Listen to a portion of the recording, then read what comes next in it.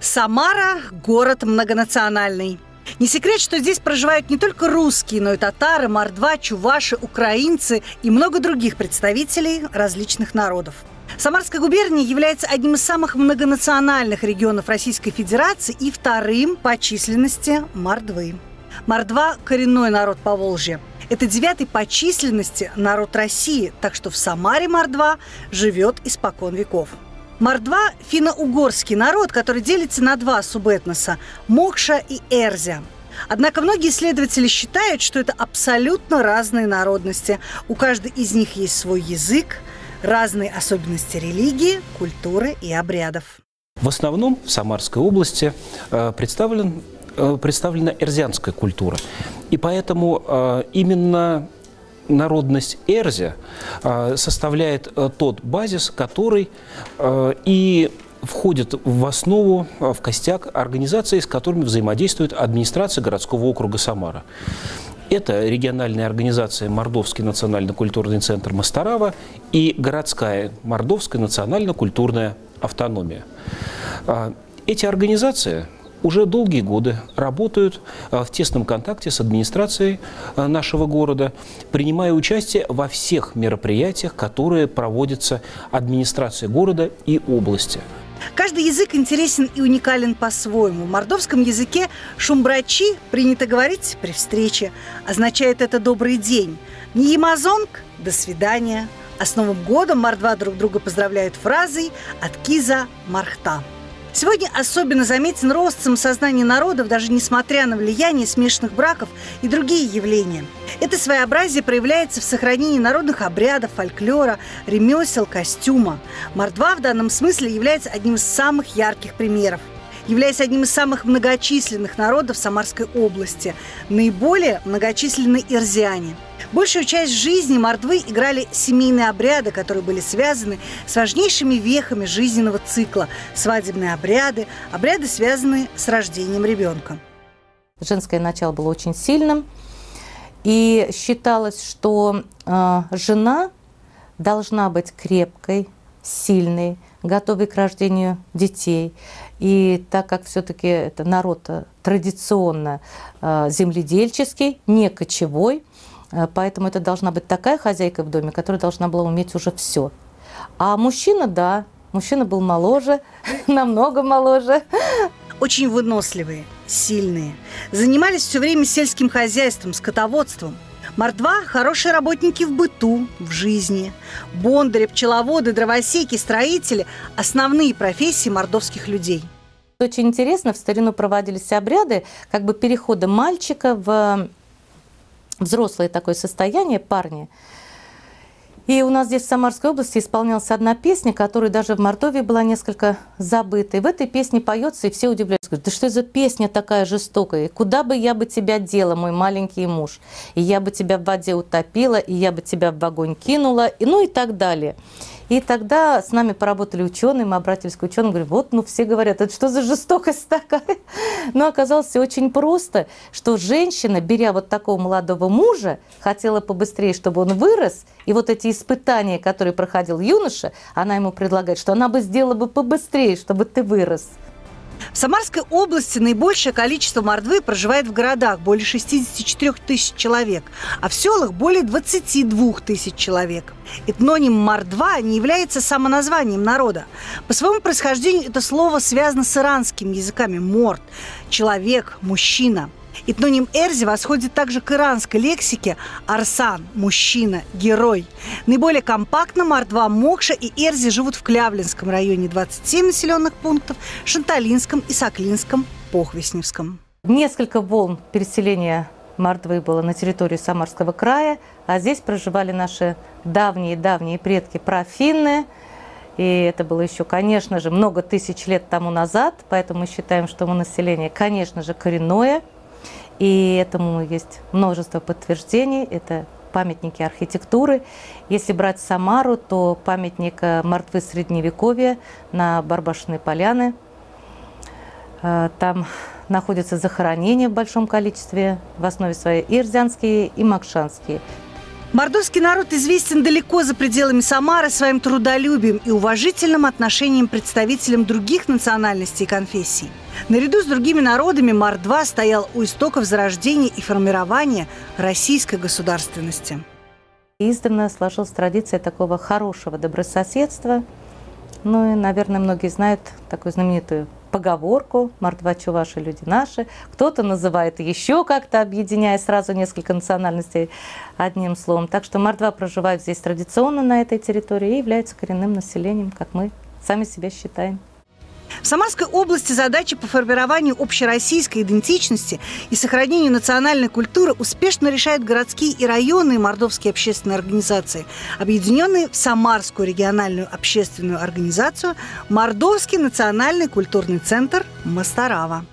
Это был такой энтузиазм, а, такой глобальный интерес. Было очень много людей, которые приходили, хотели заниматься, а, в том числе и в нашем движении это как раз люди того поколения, которые слышали язык, и разговаривали на каком-то бытовом уровне. Им было это интересно, они хотели послушать свои старинные песни, хотелось на, насыщать себя знаниями по истории, потому что вот, к сожалению, если вы откроете любые учебники, я историк по образованию, любые э, учебники по истории, по краеведению, по самароведению, там практически не найдете информации о коренных традиционных народах.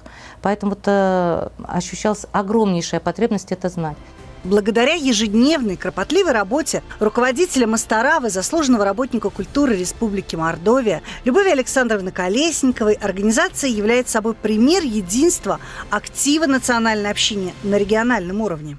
За э, прошедший период у нас э, создано очень много творческих коллективов, их э, вместе с детскими где-то примерно около 45 по области. Есть коллективы народные, за годы своего существования организация Мастарава завоевала авторитет и признание не только в нашем регионе, но и в других субъектах Российской Федерации. Значительная роль Мастаравы и в создании Самарской региональной общественной организации «Союз народов Самарской области», призванной консолидировать все национальные общины, укреплять мир и дружбу народов. Сейчас мы пришли к такому выводу и занимаемся этим, что мы готовим все материалы и работаем с детьми, со студентами на тему э, «Семья в традициях народа» потому что это важнейшая тема. Объясняем нашим студентам, детям, э, что э, выходит на мировую арену Э, на первые места экономики стран, где сочетается индустриальное развитие, но у нас люди живут на основах народной культуры. Это и Индия, это и Япония, да, это Китай. И объясняем, как, какое значение имеет культура вообще. Основным направлением работы является культурно-просветительская деятельность по сохранению самобытности мордвы, мордовской национальной культуры, ирзианского и махшанского языков. На последнем конгрессе финно-угорском э, в Хельсинки были представлены э, новые методы изучения родных языков. И мне очень понравилось, что там э, в каждой семье, если это многонациональная семья, изучают язык всех членов семьи но изучают его без э, письменного языка, изучают уровень разговорного языка. И если финны традиционно приезжают в какую-то страну, то они обязательно изучают э, язык этого народа тоже на уровне разговорного. Это тоже очень интересная идея, потому что, в конце концов, наши предки разговаривали, э, не зная литературного языка. А вот, наверное, трудности, то, что родители детей останавливают, это как раз вот такая вот изучить основы, грамматику языка, это довольно сложно. В Самарской области создано более 30 взрослых и детских фольклорных коллективов. С 1996 года при обществе Мастарава в Самаре действует народный хор мордовской песни «Мастарава», который выступает с концертами, проводит творческие встречи в библиотеках, школах, домах культуры Самары и области, участвует в областных национальных праздниках и межнациональных фестивалях. Все эти праздники, которые проводят наши мордовские организации, как раз проникнуты вот тем духом единения с традициями предков. Мы видим э, неразрывную связь между прошлым, настоящим и устремленность в будущее. Э, словно предки присутствуют здесь незримо, в этом зале, словно те традиции, которые сохраняются долгие века, сегодня здесь приобретают не новое современное звучание. При поддержке администрации города Самара Национально-культурный центр получили новые возможности для своей деятельности. Здесь созданы все условия для сохранения и развития традиционной народной культуры. Национально-культурный центр Мастарава в настоящее время считается одной из самых активных среди национально-культурных центров Самарской области. Психологи говорят о том, что если, например, э, на генном уровне родители, дедушки, бабушки и так далее разговаривали на языке, были носителями языка, слушали песни и так далее, а их дети и потомки нет, это возникает психологическая проблема, которую очень трудно разобрать психологу. И догадаться, что проблема идет изнутри. Вот у тебя в генах это есть, а ты этого не получаешь. И у тебя все время ощущение, что тебе чего-то в жизни не хватает. То есть э, это очень важные такие вопросы, которые, э, к сожалению, вот в сегодняшнем мире очень мало рассматриваются. Самарская региональная общественная организация «Мордовский национальный культурный центр Мастарава» имеет филиалы в Пухвесне, Масаклинском, Шанталинском, Клявлинском, Челновершинском, Кошкинском, Красноярском, Нефтегорском, Кинель-Черкасском, Борском, Ставропольском, Сергиевском районах. Мастарава тесно сотрудничает с мордовскими общественными организациями города Сызрань, Тольятти, Отрадный. Создать э, центр национально-культурный, э, они у нас созданы практически везде, где проживает наше население, э, это одно – вот как потом привлечь, а, какие новые формы интересные работы а, должны быть. Вот, например, мы совсем недавно проводили для взрослого населения в воскресных школах, проводим занятия из истории Ирзянского и Макшанского народа. И, собственно, взрослые люди слушают просто с огромным, с огромным интересом. На территории городского округа Самара проводятся межнациональные мероприятия в рамках сохранения культуры финно-угорских этносов. Мы как раз видим э, именно глуби, глубинную работу по сохранению коренных базисных, э, неделимых элементов культуры – всех финно-угров. И сегодняшнее мероприятие как раз является одним из проявлений. Ведь сегодняшний праздник от Толынчи, День Большого Огня, как раз традиционный мордовский праздник, а, когда молодые ребята выйдут на сцену с тем, чтобы продемонстрировать э, свои умения, свою культуру, показать себя и посмотреть на других. В Самаре работают мордовские национальные воскресные классы. Занятия по изучению родного языка национальной культуры проходят в школах номер 23, 100, 138 городского округа Самара. При Мастараве создана библиотека ирзианских и макшанских книг, учебники, словари, энциклопедии, сборники песен, историческая и художественная литература, журналы, видео и фонотека. Это у нас уникальная библиотека. Она не очень большая – но такой библиотеки в Самарской области больше нет. Здесь книги на 15 языках. В Самарской области проживает сколько народов? 157.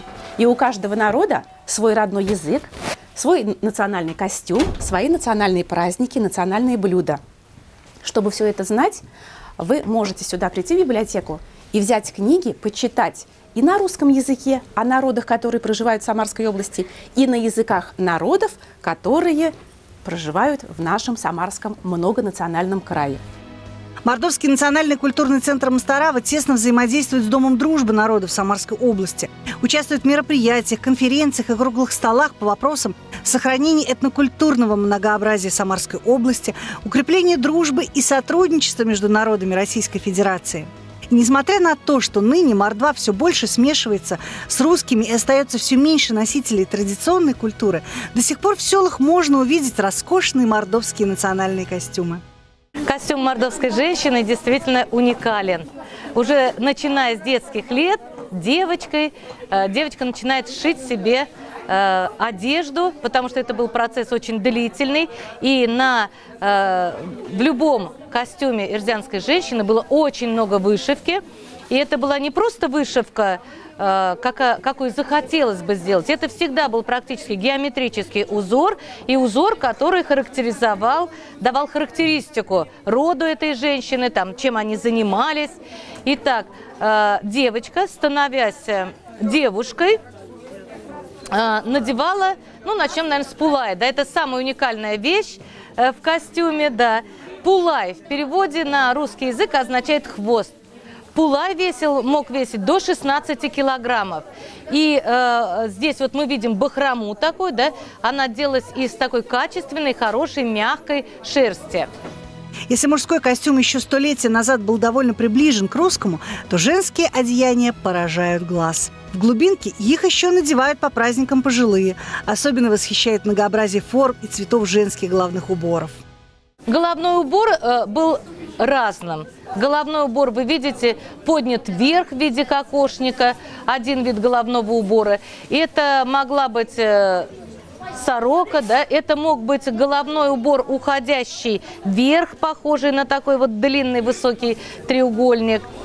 Есть и кокошники с висящими над душами свитами из шерсти шарами, есть и головные уборы, поднимающиеся над головой в виде рога. Встречаются и шапки мини-экзотичных форм. На Всемирной выставке в Париже в 1895 году, где было представлено лучшее творчество народов, ирзианский костюм получил гран-при как костюм, э, дающий полную информацию для женщины, экологически очень э, такой соответствующий всем требованиям. Кроме того, национальный женский костюм немыслим без колец, браслетов, подвесок и других украшений, к которым мордовские женщины питают особую страсть. На празднике в Доме дружбы Мордва угощали гостей своей национальной кухней. Стол накрыли и рассказали секреты своих рецептов и семейных традиций, которые передаются из поколения в поколение.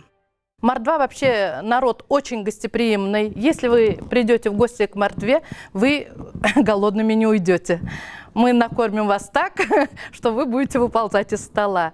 Хочу вам представить национальную нашу кухню. Прежде всего, Мордва всю жизнь готовила курники, мордовский курник. Он состоит, значит, из теста, картофеля, мяса и всяких приправ. Очень любит э, это блюдо наша нация. Потом у нас, конечно, знаменитые мордовские блины. Эрзянские. По-мордовски, значит, по-эрзянски пачалк, пачалкст, а по-макшански, Людмила, как? Пачат. Блины бывают двух видов. Бывают они толстые, мордовские блины, и бывают очень тоненькие. Это зависит уже от рукоделия хозяйки. Чем тоньше блинчик, тем вкуснее. Ну, вот такие наши национальные блюда. А теперь приглашаем вас к столу. Садо ярцам, ярцама.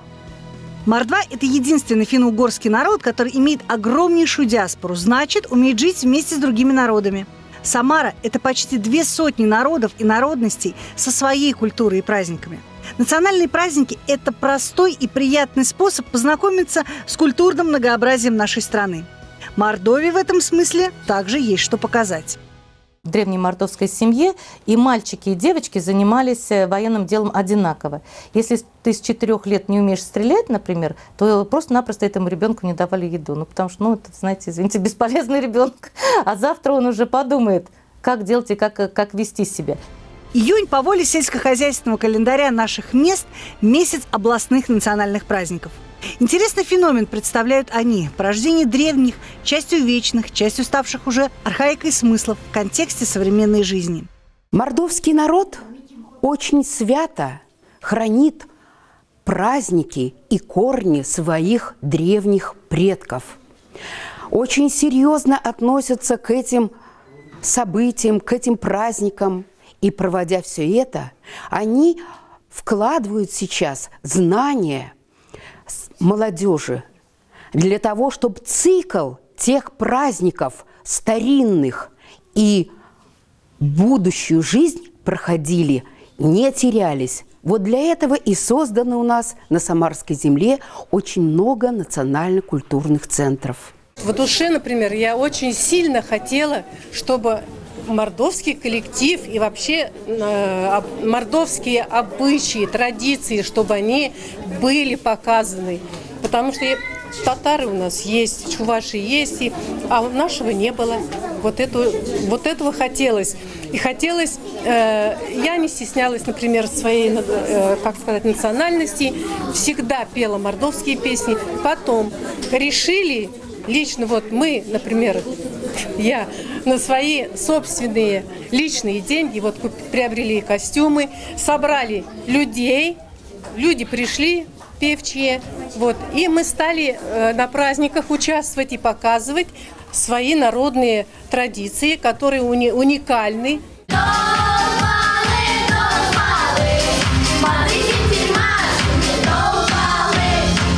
Было отрадно видеть, что среди выступающих стало больше детей и молодежи.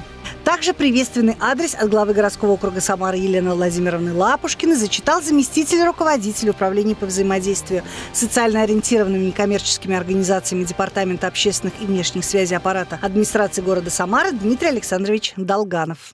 Народная культура всегда являлась языком межнационального общения, способствующим сближению людей разных вероисповеданий и культур, укрепляла нравственный облик жителей нашего города – была его исторической памятью, наполняла глубоким содержанием всю его жизнь.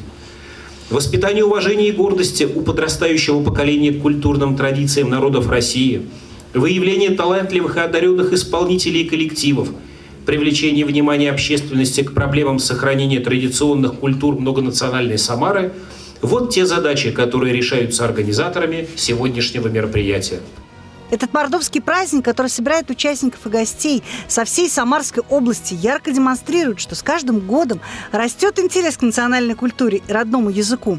Это отражается и в том, что количество выступающих увеличивается год от года. Это очень радует, ведь именно для этого проводится на Самарской земле от Национальные культурные центры проводят огромную работу среди населения всего э, города Самары, области.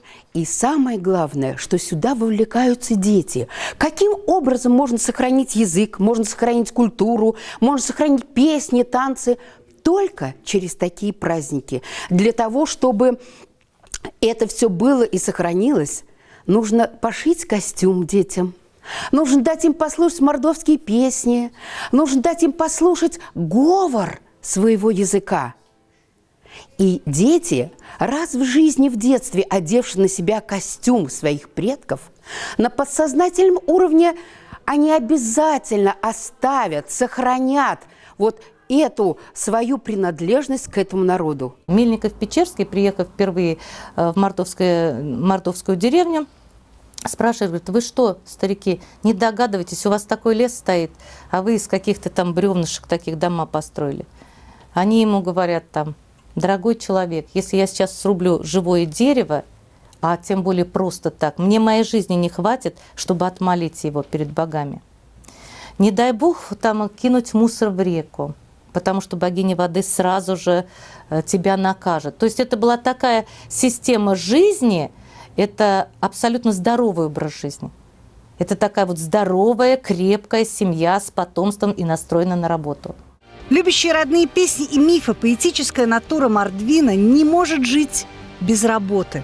Это самая суть его, неуемная жажда деятельности и упорство, которое помогает ему преодолевать все препятствия, лишь бы сделать дело хорошо и правильно. Есть чему поучиться у этого народа.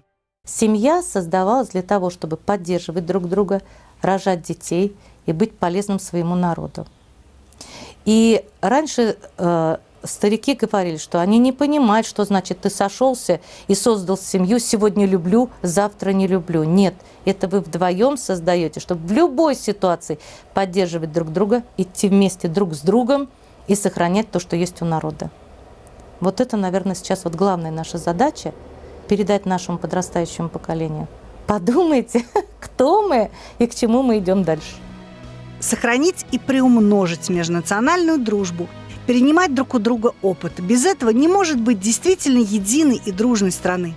Только взаимное уважение поможет жить в согласии и мире, но при этом важно сохранять и свою культуру, свой язык. Каждый народ – это ценность для нашего государства. Утрата самобытности хотя бы одного из них – большая беда.